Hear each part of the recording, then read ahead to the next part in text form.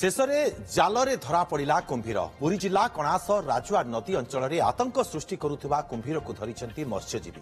ଆଜି ଚୁପୁରିଙ୍ଗି ବ୍ରିଜ୍ ତଳେ କୁମ୍ଭୀର ବୁଲୁଥିବା ସମୟରେ ମତ୍ସ୍ୟଜୀବୀମାନେ ଜାଲରେ ତାକୁ ଧରିଥିଲେ। ଆଠ ଫୁଟରୁ ଅଧିକ ଲମ୍ବର କୁମ୍ଭୀରକୁ ଧରି ଗ୍ରାମବାସୀ ବନ ବିଭାଗକୁ ହସ୍ତାନ୍ତର କରିଛନ୍ତି। ତେବେ ଦୀର୍ଘ କିଛି ଦିନ ଧରି କୁମ୍ଭୀରଟି ପ୍ରଥମେ ଦୟା ନଦୀ ପରେ ରାଜୁଆ ନଦୀର ହଳଦିଆପଡ଼ା ଅଞ୍ଚଳରେ ବୁଲୁଥିଲା। ଏଥିପାଇଁ ଏସବୁ ଅଞ୍ଚଳର ଲୋକେ ଭୟଭୀତ ହୋଇପଡ଼ିଥିଲେ। କୁମ୍ଭୀରକୁ ଧରିବା ପାଇଁ ବନ ବିଭାଗକୁ ଗ୍ରାମବାସୀ ବାରମ୍ବାର ନିବେଦନ ମଧ୍ୟ କରିଥିଲେ। ଅଧିକ ସୂଚନା ପାଇଁ ଫୋନ୍ଲାଇନ୍ରେ ରହିଛନ୍ତି ଆମର ଚିଫ୍ ରିପୋର୍ଟର ମଧୁସୂଦନ ମିଶ୍ର। ମଧୁସୂଦନ କୁମ୍ଭୀରଟି ଧରାପଡ଼ିବା ପରେ ଲୋକମାନଙ୍କୁ ନିହାତି ଭାବରେ ଟିକେ ଆଶ୍ୱସ୍ତି ମିଳିଥିବ ବର୍ତ୍ତମାନ ସମୟରେ। ଆପଣ ଦୁର୍ଗାମାଧବ ଲକ୍ଷ୍ୟ କରନ୍ତୁ ଦୀର୍ଘ ଚଉଦ ପନ୍ଦର ଦିନ ଧରି।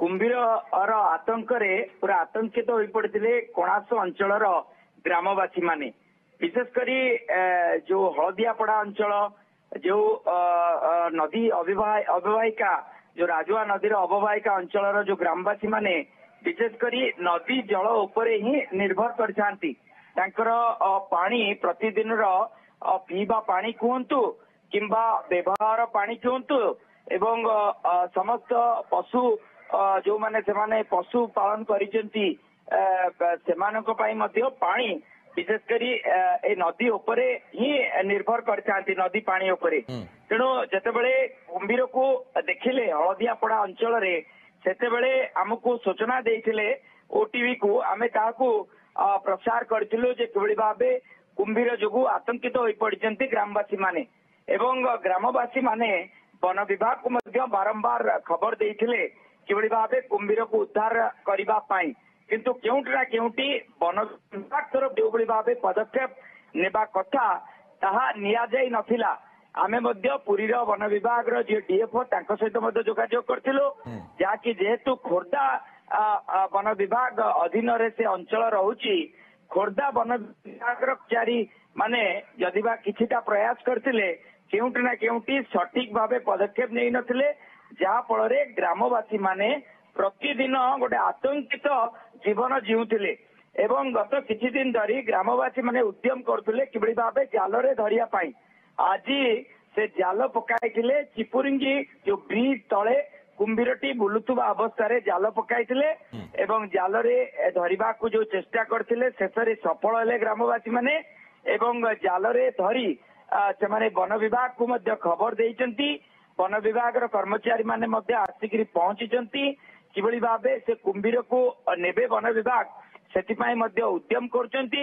ଆଉ ଗୋଟେ ସୂଚନା ଦେବି ଯୋଉଟା କି ଗ୍ରାମବାସୀ ମାନେ ଅଭିଯୋଗ କରୁଛନ୍ତି ଗୋଟିଏ କୁମ୍ଭୀର ନୁହଁ ଆହୁରି ଦୁଇରୁ ତିନୋଟି କୁମ୍ଭୀର ସେଇ କଣାସ ଯୋଉ ରାଜୁଆ ନଦୀ ରହିଛି ଏବଂ ମଲାଗୁଣି ନଦୀ ରହିଛି ଏବଂ ଲୁଣା ନଦୀ ରହିଛି ଏ ଅବବାହିକାରେ ସେ କୁମ୍ଭୀର ବୁଲୁଥିବାର ଗୋଟେ ଅଭିଯୋଗ କରୁଛନ୍ତି ନିଜେ ତେବେ ସରପଞ୍ଚ ମଧୁସୂଦନ ଯୋଉ ଚୁପୁଡିର ଗ୍ରାମବାସୀଙ୍କ ମନ ସରପଞ୍ଚ ମଧ୍ୟ ଭିତରୁ ଅଭିଯୋଗ ସମ୍ପୂର୍ଣ୍ଣ କରୁଛନ୍ତି। ଭାବରେ ଏ କୁମ୍ଭୀରର ଭୟ ଯାଇନାହିଁ ଏପର୍ଯ୍ୟନ୍ତ ନିଶ୍ଚିତ ପ୍ରକାରେ ଯଦି ବା କିଛିଟା ଆଶ୍ୱସ୍ତି ପ୍ରକାଶ କରିଛନ୍ତି ଯେହେତୁ ଗୋଟିଏ କୁମ୍ଭୀରକୁ ସେମାନଙ୍କ କହିବା କଥା ଯେ ଗୋଟିଏ କୁମ୍ଭୀରକୁ ଧରିଛନ୍ତି ଏବଂ ରାଜୁଆ ନଦୀରେ ବିଶେଷ କରି ଆ, ଏଇ କୁମ୍ଭୀରଟି ବୁଲୁଥିଲା ତେଣୁ ତାକୁ ଧରିବାରେ ସମର୍ଥ ହେଇଛନ୍ତି କିଛିଟା ଆଶ୍ୱସ୍ତି ହେଇଛନ୍ତି ହୁଁ, ହୁଁ। କିନ୍ତୁ ତାଙ୍କର ଅଭିଯୋଗ ଆହୁରି ଦୁଇରୁ ତିନୋଟି କୁମ୍ଭୀର ବୁଲୁଛି।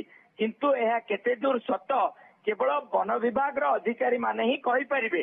ତେଣୁ ବନ ବିଭାଗର ଅଧିକାରୀଙ୍କୁ ମଧ୍ୟ ବାରମ୍ବାର ଫୋନ କରୁଥିଲେ ମଧ୍ୟ ତାଙ୍କ ତରଫରୁ କୌଣସି ପ୍ରକାର ଯୋଉଭଳି ଗୋଟେ ଇଚ୍ଛୁକତା ପ୍ରକାଶ କରିଥା କହିବା କଥା ଯେ କୁମ୍ଭୀରଟି ବୁଲୁଛି ଲୋକମାନେ ଆତଙ୍କିତ ଅଛନ୍ତି ଗ୍ରାମବାସୀ ମାନେ ପାଣି ନେବା ପାଇଁ ଯାଇପାରୁନାହାନ୍ତି ନଦୀ ପଠାକୁ त्यो जालतले मधुसुदन धरा पड्छि कुमिराटी हामी कही वर्तमान समय रे टिक्की आस्वस्थी मिलीछि ग्रामवासी को बहुत धन्यवाद आपको तमाम सूचना पई मधुसुदन